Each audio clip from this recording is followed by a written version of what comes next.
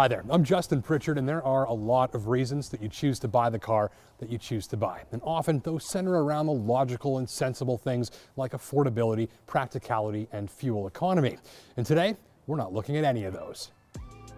This is Neptune's Trident, and that means that today we're going for a spin in a Maserati. This one, the Levante GTS and it's a crossover with all-wheel drive and room for the family, although with the air suspension hunkered down as you'll be seeing it in this video, I was mostly tempted to call this a world-class performance sedan wearing a backpack.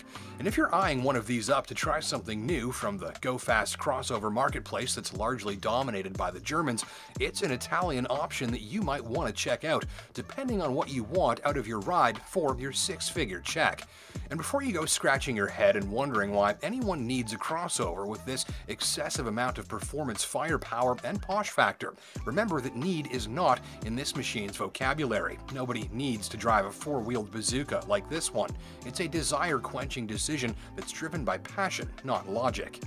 So it has moves like a proper sports car and it's powered by a little and very powerful V8 assembled by Ferrari and it's got enormous brakes, an all-wheel drive system that focuses on friskiness and no shortage of mechanical and electronic implements designed to put a great big grin on your mug and as crossovers tend to, it also has four doors, a motorized tailgate, flexible seating, and a decent amount of cargo storage volume.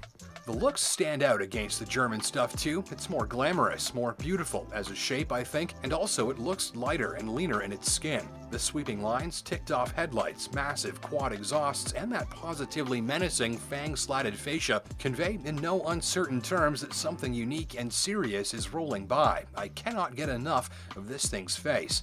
On board, the interior satisfies the fingertips more easily than the eyes. It's hard to touch anything in here that isn't covered in fragrant stitched leather or suede, and there's a hefty and solid feel to virtually everything. Nothing flimsy. Heck, they even installed some decorative metal shielding in the footwell to protect the carpeting from your boots. So Levante feels built to last, though some test drivers may wish for a more modern look to some of the controls, stalks, dials, and interfaces, some of which will be familiar to owners of modern Chrysler and Dodge products products because these and Maserati are all owned by parent company FCA and they're sharing some of their interior parts. So for your investment of 138,000 for starters on a GTS, plenty more visually stunning cabins are available if that's high on your wish list. It's not all bad news though, the seats are gorgeous and quilted, and with four adult-friendly sports buckets, you've got appropriate seating for the capability on offer. The big appeal here, though, to me seems to be the unique and thrilling driveline combined with the unique and powerful presence that Levante has on the road.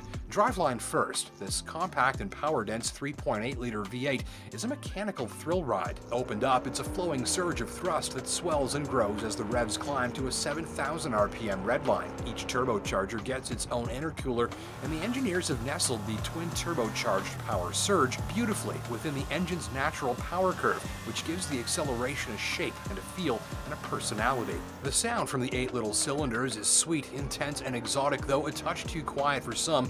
Most will find the sound to be rich and satisfying, some will just wish to hear more of it. You won't be wishing for more power though, with 550 horses, the acceleration is nothing short of overkill, which is exactly what this shopper wants. Engage Sport Mode, and the Levante enables easy and predictable throttle steering by assertive drivers on winding roads with some trick all-wheel drive programming helping it to feel remarkably light and feisty. In that Sport Mode, power only goes to the front wheels as a sort of last resort, turning in that rear drive feel that sporty drivers love. Acceleration borders on face peeling at full throttle, and drivers without a great deal of self-control could wind up in serious trouble. Elsewhere, this thing will blast past an 18-wheeler in a touch longer than it takes the driver to roll their foot to the floor.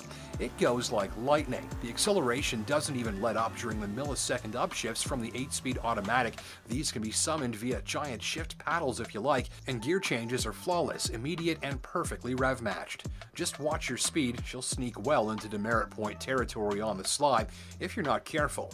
Brakes are powerful, reliable, and confidence-inspiring, an excellent match for the firepower from under the hood. Stops are quick and drama-free, even if the pedal feel isn't at its best until the brakes are piping hot.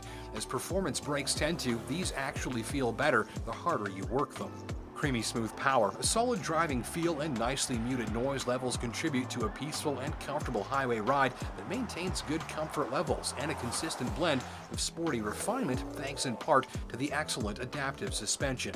Biggest gripes? Well, heavy footed drivers can expect a mighty fuel bill, and a too sensitive lane departure alert system interrupted many tranquil moments on the road with a loud and startling beep, suggesting that I put my hands back on the wheel even though they were already there.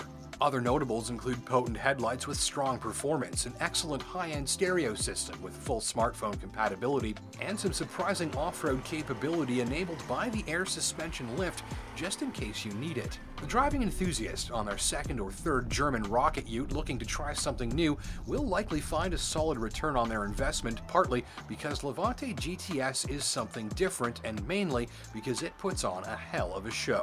My high-performing tester was priced from 138 and clocked in a little past 150 with included options. It may not be that long before the fastest crossovers on the road are all electrified or fully electric. And if you've got the checkbook and love internal combustion engines, Levante GTS might be one of the last rocket utes you'll be buying with one. Times are changing, but this is not a power plant you're likely to forget. I know I won't. Well, I've said it before and I'll say it again. Stay in school, kids. Until next time, my name is Justin Pritchard. We'll see you in the next video. Take care and drive safe.